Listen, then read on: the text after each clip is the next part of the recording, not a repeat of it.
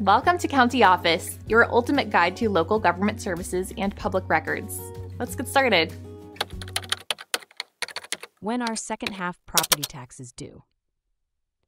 Property taxes are typically paid in two installments. The due dates for these installments vary by state and county. It is essential to know your local tax calendar to avoid penalties. In some states, the first installment is due in the first half of the year. The second installment is usually due in the latter half of the year. For example, in California, the first installment is due on November 1st, and the second installment is due on February 1st of the following year. In other states, like Texas, the entire property tax bill is due by January 31st of the following year. However, some counties may allow for split payments. It is crucial to check with your local tax assessor's office for specific due dates. Missing a payment can result in penalties and interest charges.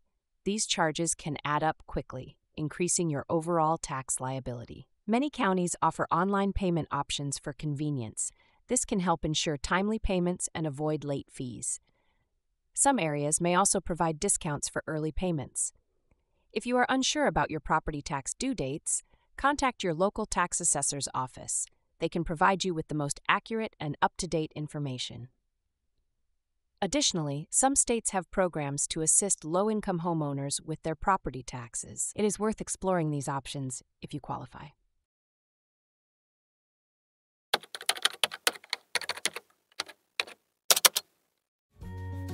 To learn more, check out these links, which you can click in the description below. And feel free to comment your questions. We're here to help. Thanks for tuning in to our video.